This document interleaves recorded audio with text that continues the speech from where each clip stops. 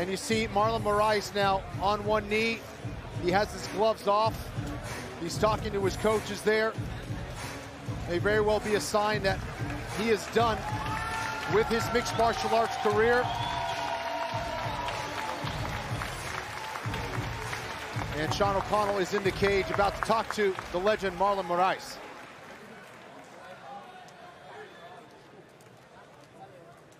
Marlon, we're going to talk to Gabriel Braga in just a moment. The gloves are off. I see the tears.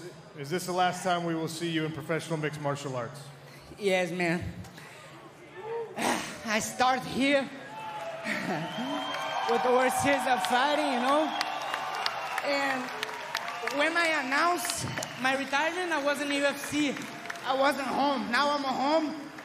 Uh, I wish I had better performances here, you know, but guys, I gave him all my heart. I trained hard.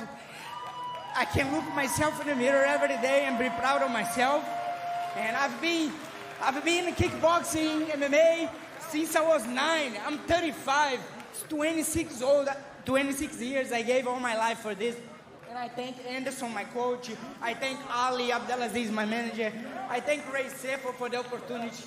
And I thank all the fans right here. You know? And I wish PFL is gonna be number one in the world. And this guy, we, ju- we just fought, you know, I wish him the best. I wish everyone the best. He's a, a great fighter. And man, I gave my heart for the sport. And thank you, God. God gave me all I have. I'm, I, I can't be sad today. I'm happy. Man, I have a beautiful wife, two kids.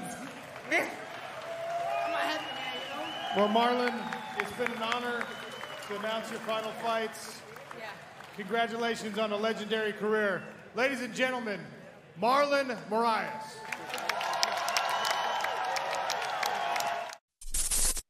Thanks for watching ESPN on YouTube. For live streaming sports and premium content, subscribe to ESPN Plus.